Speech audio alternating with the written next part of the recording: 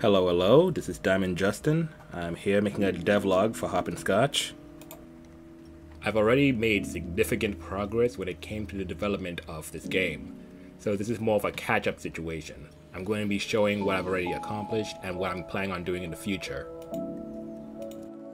Now, this isn't the first time I've created a video game, or at least tried to create a video game.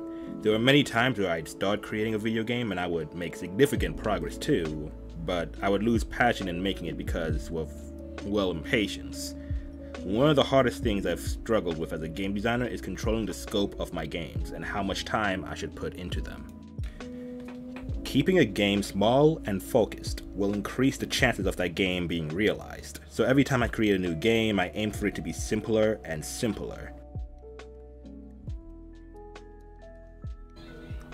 This time I was inspired by the game of hopscotch, where players would hop on a path of squares in order to get to the end. I was also inspired by the minigame in the Naruto Ultimate Ninja series, where players would input a series of buttons in order to land or evade an ultimate attack.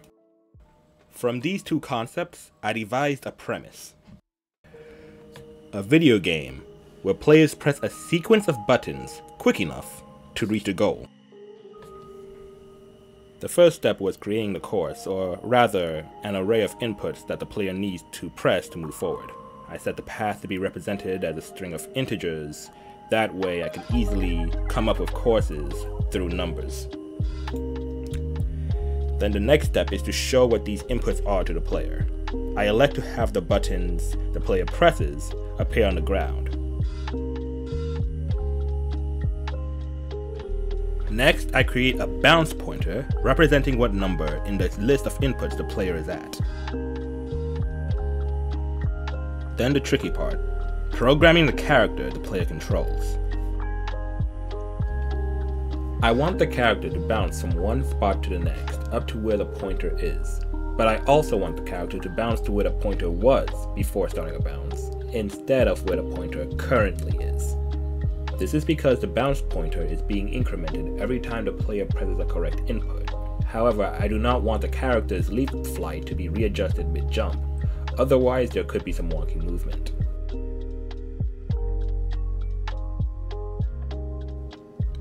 Doing the movement this way gives the impression that the player is storing correct inputs for a satisfying big leap when the character lands, since the character will keep hopping until it reaches the pointer.